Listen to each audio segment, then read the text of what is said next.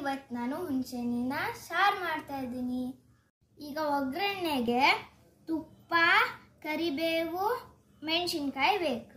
ಆಮೇಲೆ ಸಾಸಿವೆ, ಜೀರಿಗೆ, ಇಂಗು ಬೇಕು.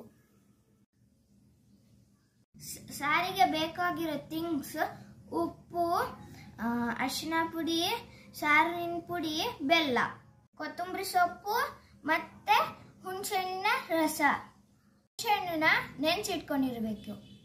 ಇವತ್ತು ಹುಣಸೆಹಣ್ಣಿನ ಸಾರನ್ನ ಮಡ್ಕೆಯಲ್ಲಿ ಮಾಡ್ತಿದ್ದೀನಿ. ಈಗ ಸ್ಟವ್ ಹಚ್ಕೊಳ್ಳೋಣ. ತುಪ್ಪ ಹಾಕೋಣ ತುಪ್ಪ ಕಾದಿದೆ, ಸಾಸಿವೆ ಹಾಕೋಣ ಚಟಪಟ ಅಂತಿದೆ, ಈಗ ಮೆಣಸಿನ್ಕಾಯಿ ಹಾಕೋಣ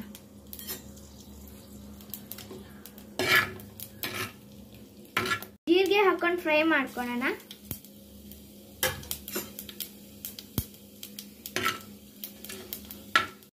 ಸೊಪ್ಪು ಹಾಕೋಣ ಈಗ ಮಿಕ್ಸ್ ಮಾಡೋಣ. ಹಂಗೆ ಹಾಕೋಣ. ಮಿಕ್ಸ್ ಹಣ್ಣಿನ ರಸ ಹಾಕ್ತಿದ್ದೀನಿ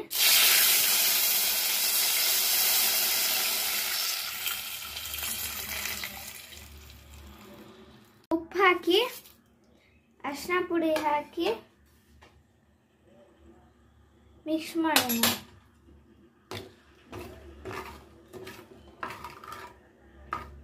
ಸಾರಿನ ಪುಡಿ ಹಾಕೋಣ ಅದಾದಮೇಲೆ ಬೆಲ್ಲ ಹಾಕೋಣ ಈಗ ಮಿಕ್ಸ್ ಮಾಡೋಣ.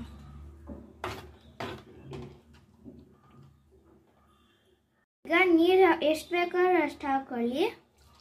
ಅದಾದಮೇಲೆ ಫೈವ್ ಟು ಟೆನ್ ಮಿನಿಟ್ಸ್ ಕುದಿಸಿ. ಚೆನ್ನಾಗಿ ಕುದ್ದಿದೆ ಸ್ಟವ್ ಆಫ್ ಮಾಡೋಣ. ಈಗ ಕೊತ್ತಂಬರಿ ಸೊಪ್ಪು ಹಾಕೋಣ. ಹುಣಸೆಹಣ್ಣಿನ ಸಾರು ರೆಡಿಯಾಗಿದೆ ಥ್ಯಾಂಕ್ ಯು ಬಾಯ್